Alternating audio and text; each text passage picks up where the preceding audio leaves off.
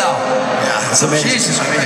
I was probably 14, 15 when I started my first band, and those guys, Yeah, but you we know- couldn't play for shit. We were But yeah, terrible. you don't know as good as them. No, we were terrible. We were terrible. Still terrible. That's our baby. These guys can play. They're amazing. We're gonna bring, we're gonna bring out Nicky the Knife, the bass player right now. He's gonna sing this Come on, song. Jake's gonna play the guitar. Come on out, you sons of bitches. Sorry, language. Earmuffs, earmuffs. Come on over here, away from the guy with the same mouth. Say hi to Nicky, everybody. Ready to do this? Face down in the